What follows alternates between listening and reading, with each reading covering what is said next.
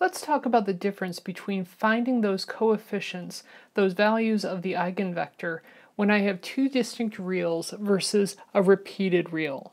So if I have two distinct reals, I set it up something like this, and I get it down to an equation where 3u1 equals u2. So I have things just in terms of u1, u2, there's no floating constant.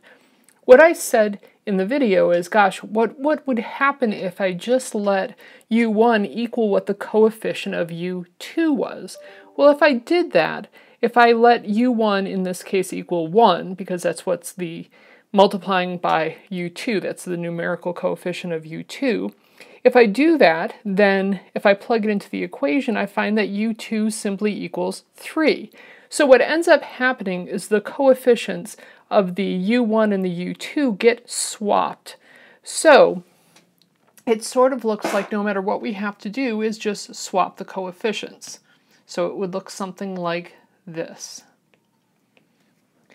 But it gets confusing when we talk about repeated reals. Now, when we have repeated reals, we don't get the u1 and the u2 equaling 0. When we're finding the second eigenvector, we're setting them equal to a number. It happens to be the original eigenvector. So if I have an equation like this, 2u1 minus u2 equals 1, what I said in the video is let's, let's just let u1 equal 1, and if that happens, well then what's u2? And then I come up with 0, negative 1. Well, it seems like if I talked about swapping things before, why on earth am I not swapping things now? Well, because if I go back here, what I've done is the reason why I could swap is I'm setting u1 equal to the coefficient of u2. In this case, I'm letting u1 equal 0. It's not actually the coefficient of u2. So there is no swapping. Well, let's see what happens if I did try to swap.